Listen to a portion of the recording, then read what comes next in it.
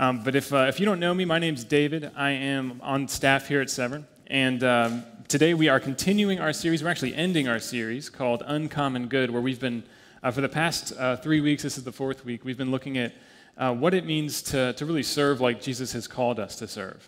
And uh, we've looked at kind of just the general call that Jesus um, has on us as far as God's people, the general call for us to serve. We've looked at the specific way we can do that in our workplaces. We've looked at how we can love our neighbors and serve our neighbors. And today, to end the series, we're actually going to look at what it means uh, to serve your church.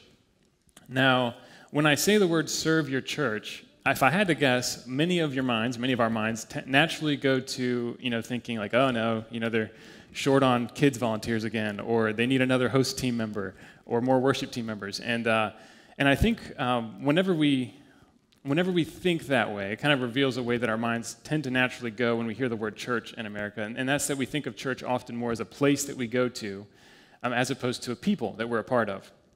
Um, so uh, I'm not going to guilt you into joining our Sunday morning serve teams today, in case you're wondering.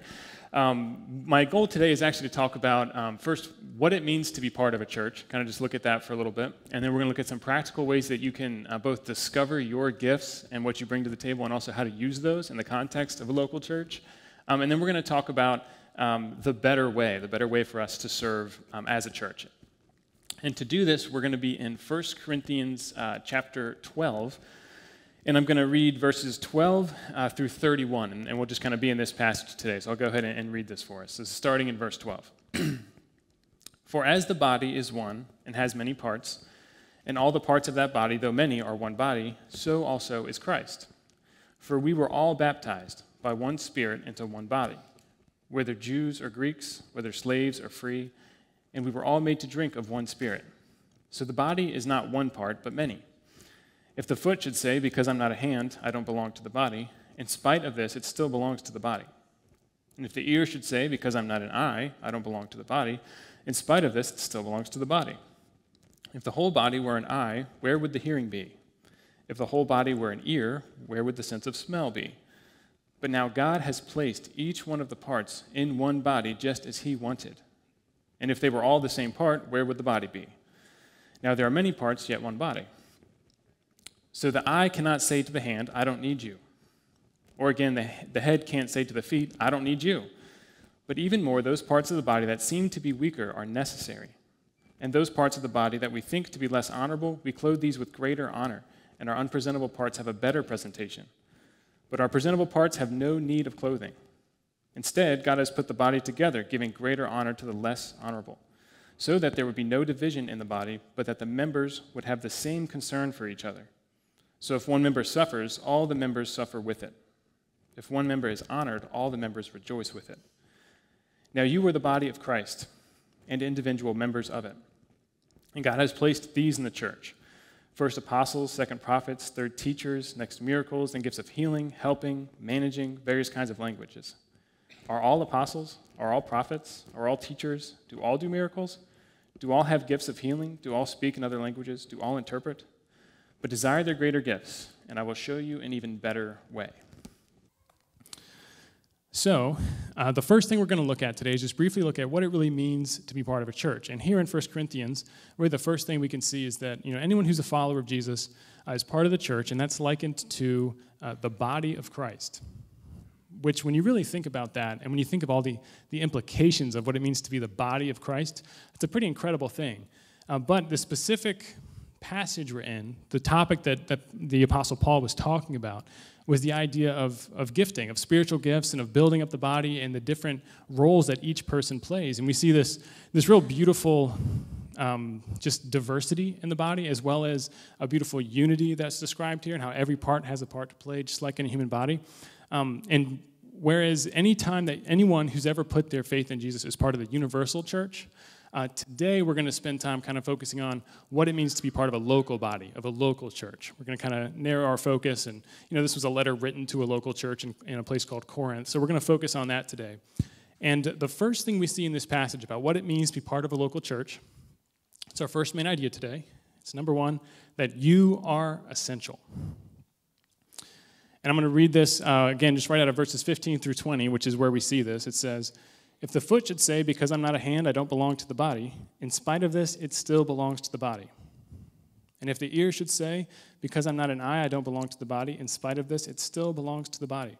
If the whole body were an eye, where would the hearing be? If the whole body were an ear, where would the sense of smell be? But now God has placed each one of the parts in one body just as He wanted. And if they were all the same part, where would the body be? Now there are many parts, yet one body. So, what we see here, in this idea that each one of us is essential, is that whether you or I realize it or not, or whether we feel like it or not, each and every one of us has a vital role to play in a part in a local church, as part of a local church. And you see, this, this letter, again, 1 Corinthians, was written to a church in a place called Corinth by the Apostle Paul. And he was responding to a lot of questions, a lot of, a lot of things they'd asked him about. So clearly, you can, apparently, there were some issues in that church where some people felt less than, or some people didn't feel essential. You know, they felt like either they weren't gifted in the way that they should have been, or didn't have a, a special enough gift, and they felt like they weren't important. And it's really easy for you and I to feel that, that same way too. You know, we can think, you know, I'm, I'm just a hand, you know, I'm not gifted that way, so, so I don't have a role to play. But Paul's response to that is very simply, he's like, no, the church needs you. Every part is important. And when you think of this in the context of a, you know, a human body, it makes a lot of sense. For example, the, the human brain is a really amazing thing. You know, scientists are still baffled by it. It's actually, I think it's kind of humorous when you, you see scientists confusing their brains while they use their brains to study their brains.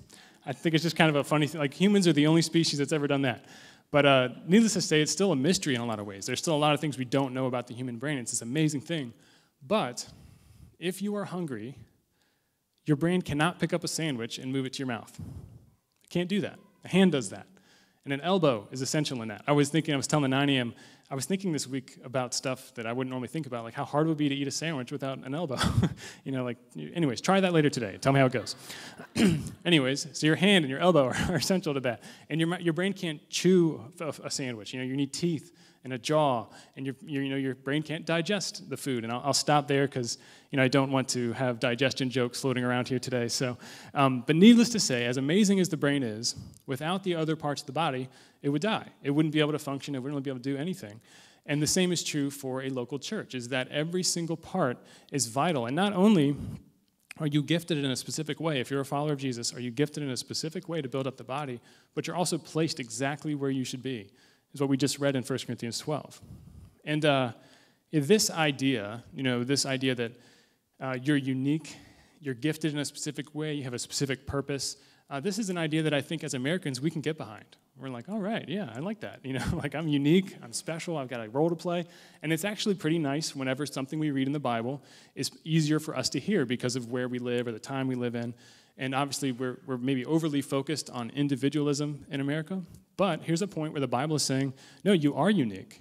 God is saying you do have a special role to play. And that's really nice when that happens. But for every time that happens, there's at least another time in the Bible where it's going to come up against you and kind of rub you the wrong way. And maybe it's going to be different than the way we naturally think or the way we want to think. Um, that actually brings me to the second thing we see in this passage about what it means to be part of a church. And that's number two, that, that we are interdependent. So, as Americans, we like to be independent. That's a different word. Interdependent means not only does this community need you, but you need this community. And, uh, and we see this in verses 21 through uh, 26, which I'll go ahead and read that again for us. it says, So the eye cannot say to the hand, I don't need you. Or again, the head can't say to the feet, I don't need you. But even more, those parts of the body that seem to be weaker are necessary. And those parts of the body that we think are less honorable, we clothe these with greater honor and our unpresentable parts have a better presentation. But our presentable parts have no need of clothing. Instead, God has put the body together, giving greater honor to the less honorable, so that there would be no division in the body, but that the members would have the same concern for each other. So if one member suffers, all the members suffer with it. If one member is honored, all the members rejoice with it. so, really, what we're seeing here is that if you are a follower of Jesus, if you're a Christian, the church really is your primary community. Really, like these are your people. This is really your, your primary community. And this is something that can sometimes rub us the wrong way, at least nowadays or in the American church, because it really doesn't jive to be a follower of Jesus and to say that you don't need other believers or other followers of Jesus. And it's, it's pretty common, or at least it has been, to say that so, you know, I love the church, I, I love Jesus, I just hate the church. It's often a kind of a, a sentiment or a mindset we can carry around where it's like, I love Jesus, not a fan of the church though. Or, you know, just when you think about that, when you think about the way God has called us to live, it's actually incompatible to try to, to live the way God has called us to live outside the context of a close knit church, of a, of a local body of, of Christ. and uh, I, I, do want to say I, I, recognize the challenges that we face when it comes to you know, anything that's organized or any kind of institution. Um, I recognize the challenges we face when it comes to trusting ourselves, like to a, a, spiritual leadership, actually submitting to spiritual leadership. That's not something that we, that we naturally get excited about. And I understand the, the anger and the pain that has been caused by, by sin in local churches. It's, it's rare to come across someone who hasn't been affected by that, who hasn't been wronged by someone in leadership or by a local church. But while all these challenges are, are valid and are things that maybe should make us proceed with caution when, when looking into a local church, they're not an excuse to avoid one another or to keep other Christians at an arm's length. Because again, as a Christian, our primary community is the church. And that's going to be played out in a local body of believers. And it requires, you know, requires a commitment. Obviously, it's something that a commitment is a word that we don't necessarily like nowadays. You know, even phone companies are onto that. You notice there's no more two-year programs. It's just we don't like commitment. So that's what it's going to take. And this is something that doesn't, you know, we're interdependent. We don't necessarily like that, but it's what it means to be part of a local church. So just kind of in a a nutshell or in a summary of the two pieces we can see there about what it means to be part of a church is that you know you're, you're an essential part of this community called the church and this is clearly only kind of a brief overview uh, you know of what we see here in, in 1 corinthians 12 regarding that idea but but we see that it, it's so much more than this idea of just you know a, a one hour gathering on sunday morning because you see this closeness described where if one member suffers everyone suffers with them. And if one person is honored, everyone rejoices with them. You can't build that kind of closeness at a one hour gathering. You just can't do that. You know, it's something where to even know what someone else's suffering is, you have to have a certain kind of relationship with them. But then to actually genuinely suffer with them because you love them so much, that's a whole other level of closeness. So it's a commitment, it's a closeness, and it's so much more than a one hour gathering. And the reason this is important to talk about before going into you know, practical ways to serve and in and with the church is because when we only think of it as a gathering on the weekend, we severely limit ourselves and we really pigeonhole ourselves in what it would look like to serve the church. We kind of like squelch our imagination because it's just, you know, joining one of the teams on a Sunday morning and it just it really pigeonholes us. But when you think about it in the context, you see the church as a people, as a group of people, as a community, you begin to one recognize the commitment it's going to take, but two, you have this whole new really like realm of purpose that gets opened up to you because you can think outside the box you can think outside the building you know you can actually even get more creative and find the, the role that you actually can play as a part of this community. So with that understanding you know of what it means to be part of a church kind of the second main section we're going to talk about today is how to serve your church and uh, you know if we have this unique essential role to play in the church how do you know what your role is how do you know what your gifts are? You know, how, how does that actually look in the context of a local church? And, uh, you know, this chapter, 1 Corinthians 12, is right when Paul's talking about spiritual gifts. And when you talk about the topic of spiritual gifts, if you've been around the church at all for a while, uh, there's some people who are very nervous and very scared about the spiritual gifts to talk about them, don't want to bring them up, they're very weirded out by them. And then you have other people who are obsessed with them which is why the other people are weirded out by them. and we have this weird dynamic where we can't really talk about it without being strange. And I'm not really going to dive into all the arguments surrounding spiritual gifts today. And my goal today for our time is to talk about why do they exist, like what are they for, and how do we actually use them for that purpose. So, so what is a spiritual gift? You know, there's, there's several lists in the New Testament of things called spiritual gifts, and you'll see things like teaching, healing, service, faith, helping, hospitality, generosity, you know, some things that you might not necessarily see as a spiritual gift, but in the places where you see them in the New Testament, the lists are actually not all identical. They're not all exactly the same. And many commentators will say that's because they're not supposed to be exhaustive. It's not a list of every spiritual gift that exists. It's more so because they're, they're illustrative of what some of these gifts are, maybe the more common ones. And while the lists change and there's different gifts that are listed, I'm doing like a tongue twister up here, saying gifts enlisted several times. I'm going to stop that now. Um, but whenever you see that, um, the one thing that stays the same is the purpose of these gifts, what they're for. And I read a lot of definitions this past week about, you know, from parts, people way smarter than me talking about, you know, here's a concise definition of what a spiritual gift is. And, uh, and here's my, my kind of shot at like boiling it down for us so we have kind of an understanding of a specific understanding of what it is. so a spiritual gift is something that the Holy Spirit has enabled you to do for the purpose of helping people become more like Jesus. So I'll say it again. A spiritual gift is something the Holy Spirit has enabled you to do for the purpose of building people up to be more like Jesus. And, uh, and just so you know, I'm not just making this up. Um, Ephesians chapter 4 is another, another passage where the Apostle Paul is talking about the same idea of you know, the, the church being a body and about spiritual gifts. And here's what he says at the end of that, pa- that passage in Ephesians 4. This is verse 15 and 16. He says, But speaking the truth in love, let us grow in every way into him who is the head, Christ. So we're to grow into Christ. From him, the whole body, fitted and knit together by every supporting ligament, promotes the growth of the body for building up itself in love by the proper working of each individual part. So you see this idea that these gifts exist to build up each other. And then you see in Ephesians what we're being built up into is to be more like Jesus. It's to be built up, it's to be more Christ like. So we see that's the purpose of every spiritual gift. And this is helpful to understand if you're trying to figure out, well, what's my spiritual gift? You can begin by asking, is there anything you do that builds people up in this way? Is there anything you've ever done or currently doing where people give you this kind of feedback, where they're like, hey, that was really encouraging to me, the way you helped me, or what you said really built me up. It really built my faith, or it helped me see Jesus in a new light. And this definition of a spiritual gift also helps us understand the difference between like a natural ability and a spiritual gift. Because a natural ability is something that God still gave you, but He just designed you with it when He made you. Maybe you've honed it through practice and you know just you've kind of developed that skill, but it's just a natural ability. If you never become a Christian, you still have that. You still have that natural ability. But a spiritual gift is something that once you've become a Christian and the Holy Spirit has come into your life, it's something God has enabled you to do for this specific purpose of building people up in this way. And sometimes those go together. Sometimes you have a natural ability and a spiritual gift in the same area, and sometimes you don't.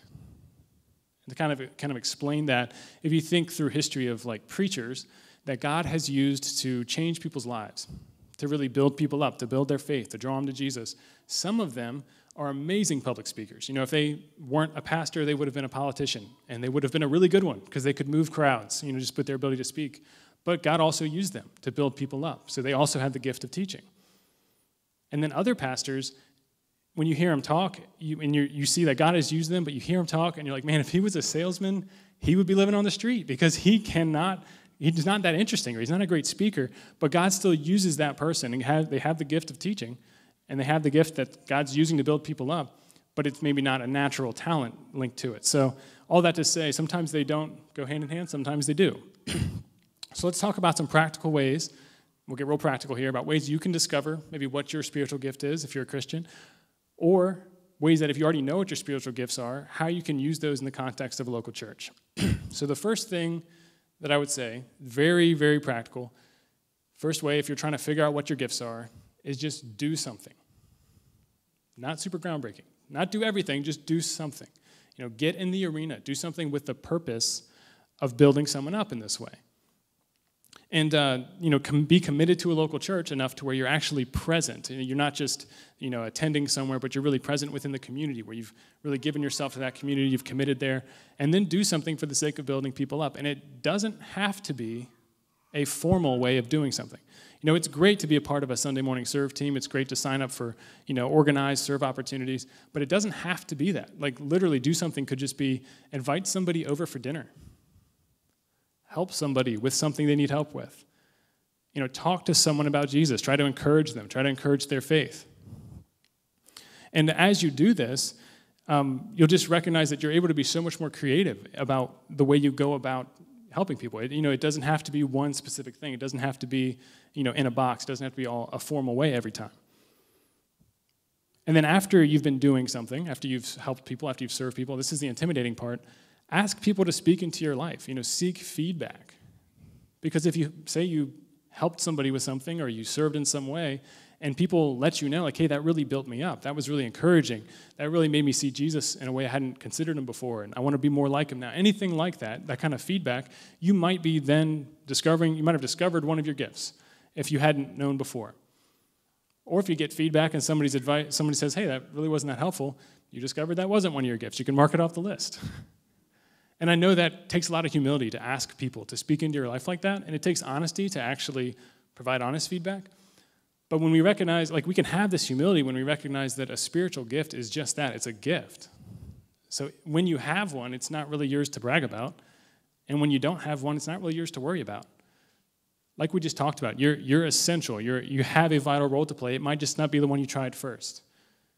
So, really, this posture of, you know, if you're not sure what your gifts are, just have a posture of seeking to build up those around you and then just pay attention to what God is doing. And now, if you already feel like you have a pretty good read on maybe what your gift is or what some of your spiritual gifts are, um, just some practical advice if you're not really sure how that plays out in your local church, something, some things you can do. Uh, one is just make sure you've actually engaged in the community. I'm going to keep coming back to that because when you're really engaged in people's lives and really know what's going on, uh, needs are going to come up. You're going to be aware of ways you can build people up that you wouldn't be otherwise. And you might find ways to use the gifts that you already know you have. You might be able to discover new gifts through that. But first, just make sure you're actually engaged and you're not just you know, attending on a weekly basis. But secondly, what you can do, this is again just very practical, is just talk to your church leaders. You know, just ask them, say, hey, I'm here. How can I help? And if this isn't your church, if you're just visiting or you're watching online, ask your church leaders. Do the same thing. Just go to them and say, How can I help? And I, I can't promise there'll automatically be this light bulb moment where they have something for you right away, but what sometimes can happen is there can be needs that you're not aware of, that your church leaders are aware of, that they can link you up with.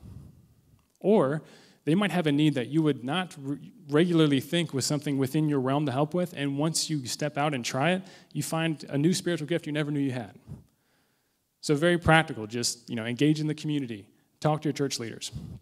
But I want to give us just a few other, you know, just a few pitfalls to be aware of in this realm uh, of spiritual gifts. This first is just the comparison game. You know, if you're if you're reading First Corinthians, you can tell like the Corinthians had this problem where they were comparing themselves to other people and they were feeling less than or feeling like they weren't good enough or they weren't gifted. And, and we're made of the same stuff as them. So just be aware that that's going to happen. You're going to think, hey, I want to serve, but I'm not as gifted as that person in that area, so I probably don't have that gift, just because you're not as gifted. Or you can think, hey, I'm not really, my gift isn't really appreciated or isn't really popular in the church I'm a part of, so I'm not going to use it. Or I don't have the cool gift, whatever the cool gift is, you know. So just know that that's going to happen. Your brain's going to tell you those things. But what the Bible would tell you is that you're essential. You have a role to play. So, you know, don't listen to those ideas of you're not as good as, or you're not good enough, you're not a part of. and then, secondly, the second pitfall I just want to warn us against is um, just beware of allowing comfort to be your compass. And what I mean by that is serving people and loving people is often uncomfortable. And um, if you let comfort guide you, you're just not going to do a whole lot of it. And you're, you're going to often limit yourself. And comfort's just a terrible guide. It's just always going to lead you in a way that it's not usually going to lead you in the right way. And sometimes your gifting will line up where it's, hey, I'm pretty comfortable doing this. I like this. This is my wheelhouse. And sometimes it won't. So just be willing to step out of your comfort zone and kind of risk allowing um, yourself to find out that God gifted you in a way you didn't want. You know, that can happen to us. So just don't let, basically, the, the second pitfall is just be, beware of letting comfort guide you. It makes for a terrible guide. For, and, for, and just to give an example of that, too, just kind of explain what I'm saying, too, is if you might be somebody who has a gift where when you talk to somebody about Jesus, you can do it in a way that's winsome, makes people not feel judged, doesn't really make people feel like you're trying to like get something from them or, or condemn them for something. And that's a real gift if you can do that. You can talk to people who are christians and not make them feel judged. You can talk to people who aren't christians and not make them feel judged. But using that gift is those conversations are often going to be uncomfortable. So just recognizing step outside your comfort zone recognize that it might not always be comfortable to serve or to use the gifts god's given you and uh, just want to say you know as we're kind of closing, closing in on the, the end of the teaching here, just using our gifts is something that um, is vital to health in both your individual life, your individual walk with God, and also just as a body, as, as a local church. Because just like with your physical body, if all you do is eat and you never exercise, you're not going to be healthy. And that's the same with being part of a local church and your, your walk with God, is that if all you do, if you're just fed by the word, you're fed by God's word and you come and you're fed, that's a good thing. But if you never exercise, it's not a recipe for health. If, if we're just a church where most of us don't really contribute to the community, we just kind of come to be inspired, that, that's not really a recipe for a healthy church, for a healthy local body. But if we're, if we're a church where we're engaged in really you know, living out, trying to figure out what it means to build each other up and really love one another as we go out into the world and show people the love that God has for them, you know, that's a recipe for, for a healthy church. Not a perfect church, not a church with no problems, but it's a recipe for, for a healthy one. And, uh, and this actually brings us to the, uh, the final idea of the whole uh, series. This is our, our kind of closing idea for this series. Um, be, because whenever you really think through what we're talking about here, this commitment, this idea of being part of a local church, using our gifts, the question kind of, kind of, kind of comes up of like, how do we pull that off? So, what I want to talk about to close this whole series out um, is our last idea. We're just going to talk about um, the better way. The better way. And I don't know if you noticed, but at the end of, of uh, 1 Corinthians 12, um, we read what sounds kind of like a cliffhanger. Paul says, you know, desire the greater gifts, and I will show you a better way. And uh, it's not really a cliffhanger because when you wrote it, it was a, it's a letter. He didn't write it with chapters and verses. We kind of created the cliffhanger. Um, but whenever he, what he goes into in the next chapter after he says that, which if you know anything about Corinthians, 1 Corinthians 13 is what we call the love chapter.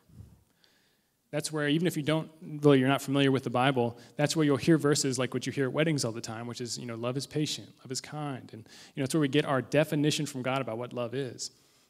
But before he gets to those verses, the ones that we're more familiar with, Paul goes into this, this uh, really section where he's talking about if I just work as hard as I can, and I try to use all my gifts to the best of my ability, and I'm striving, and I'm striving, and I'm sacrificing, and I'm doing my very best, but I don't have love, then it's all for nothing.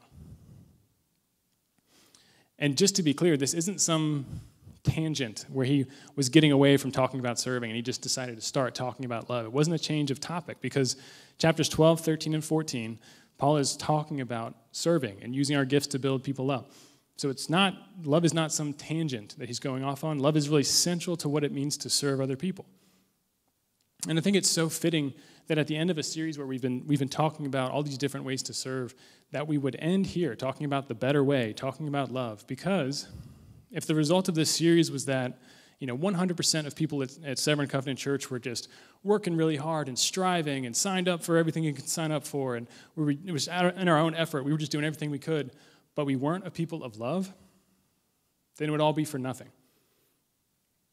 and that we can't miss this because that's, that's what paul's getting at there is it's all for nothing if we're not a people of love. And that begs the question how do we do that? You know how do we just become a people of love? Because if you've ever tried you can't just try really hard to be a person of love.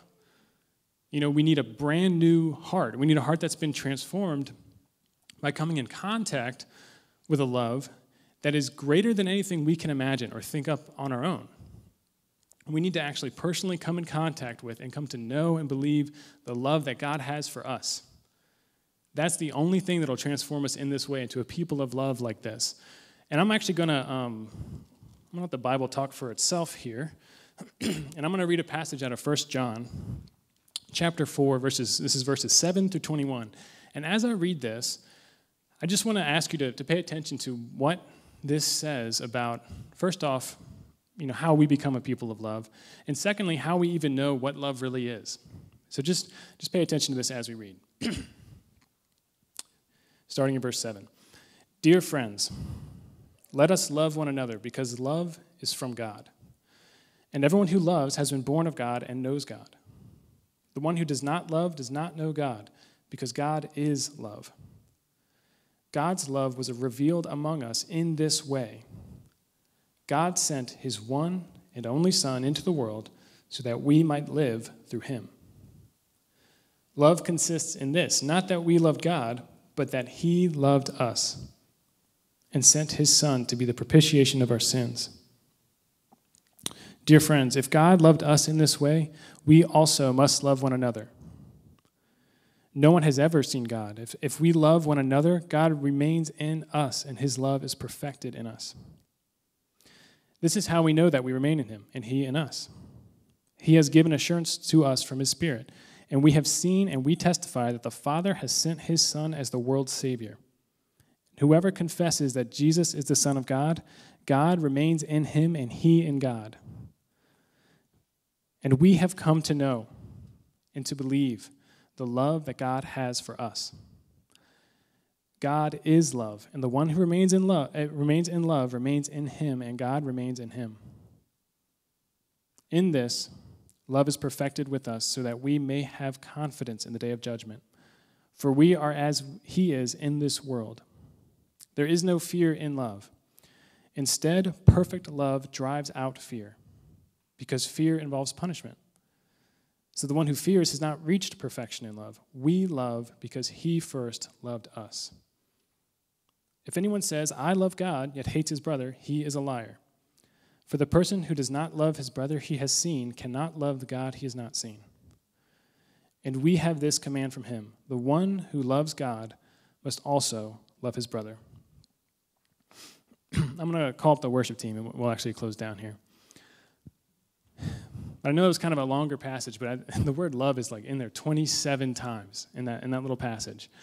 And uh, really, the question that I have for all of us as we as we really kind of wrap up this series about serving is just is just this: is do you know this love? Have you personally come to know and to believe the love that God has for you? Because when we do, when you do actually come to know that, and as you do come to know that in larger and larger uh, quantities, is it'll change you. It'll change you into somebody who doesn't serve out of begrudging duty and doesn't serve out of fear, doesn't serve out of guilt, but actually serves out of the freedom and the joy that comes from knowing this love, knowing that God loves you this much. That's what actually transforms us into somebody who's that different. So if you do know this kind of love, I just want to say I'm super happy for you. You know, let's be the kind of people who take this love that we've experienced and just share it with the world around us any way that we can think. And that we build each other up and love each other in that way. And when we forget this love and we feel unlovable or we feel unloving towards others, let's be a people who go back to the reason we can know we're loved this much, which is Jesus. That's why we look at Jesus each and every week because that's where God has demonstrated his love most clearly. And if you don't know this love, I would just beg you today, just ask you today to do the same thing. Look at Jesus. Because the Bible tells us that it's not when we started serving that God started to love us, or when we became part of a church in the way He wanted us to, that's whenever He started to love us. The Bible tells us that God demonstrated His love for us, and that while we were still sinners, Christ died for us. That means that while you and I were dead in our sin, is whenever God decided, I'm going to demonstrate my love by dying for them. So if you don't know this love, look at Jesus. And if you do know this love, continue to look at Jesus because it's so easy for us to forget. It's this love that's the motivation for us as we serve. It's this love that is why we have hope as we serve. And it's this love that allows us to actually serve, even when it's hard and uncomfortable, but to be able to serve with a joy knowing that we're already accepted. We're not serving for God to love us, we're serving because He already does. Let me pray for us. Father, you love us uh, so much. And uh, you love us more than we can really comprehend. But God, we just ask that today uh, you would help us understand it more than we already do. If we don't understand it at all, God, help us to see it for the first time. See how beautiful your love is for us, how real it is for us. And God, if maybe we've been a Christian for years, God, I pray that just for each and every one of us, you would still just open our eyes wider. Help us to understand it more, that we would understand the depth and the width and the height of your love for us. God, please change us. Please make us into a type of people who love like you love. We pray this in your name, Jesus. Amen.